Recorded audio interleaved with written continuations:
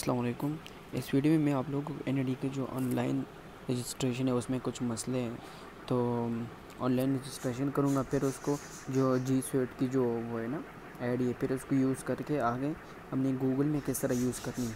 तो ये दोनों चीज़ें हम, मैं इसमें कर रहा हूँ। एन का जो ऑनलाइन पोर्टल है, सबसे पहले तो हमने उस पर जाना है। तो हमने सर्च करना है एन ई डी तो मेरे पास यही सेव आ गया। इसका लिंक मैंने शेयर किया आप लोगों के साथ।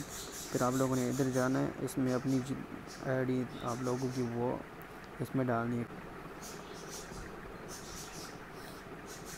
अच्छा ये ये अब ये खुल गया, ये सारों के पास ही आ जाता है।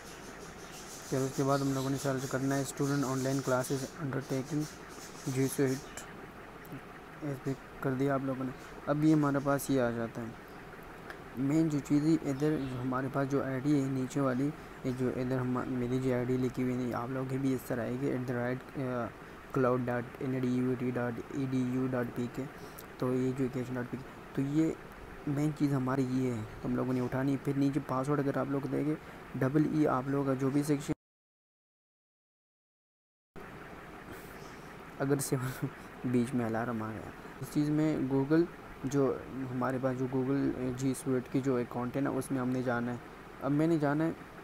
अब इधर ये क्लासरूम है तो इसमें आप लोग तभी जा सकते हैं जब आप लोगों ने क्लासरूम को जी स्वेट की जो अकाउंट है, उससे लॉगिन किया होगा। वो पहले वाली जो क्लास क्लासरूम की थी, वो अब इधर यूज़ नहीं होगी, क्योंकि वो सिंपल गूगल की थी।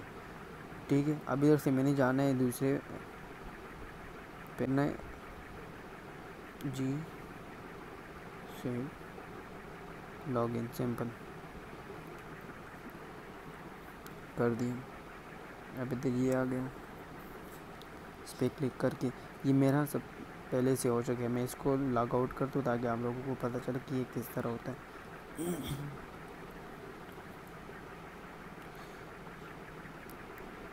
अच्छा इसमें इसमें सेव है तो ये है मेरी ID U double L A आप लोगों का जो भी है, अगर लेट सपोज़ आपका जो लास्ट नेम है वो हुसैन है तो इधर लिखा होगा हुसैन फोर टू ज़ीरो पर आप लोगों का जो कार्ड नंबर है ना, वो लिखा होता है।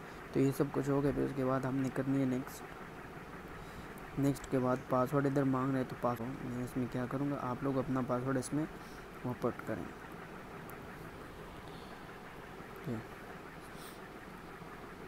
ये मेरे पास मेरी ये आईडी खुल गई, ये आप लोग देख सकते हैं। तो ये मेरी अकाउंट खुल गई। ही हम कैलेंडर है हमारे पास ई क्लासरूम कंटेक्ट और जो डॉक्यूमेंट्स हैं गूगल ड्राइव भी है।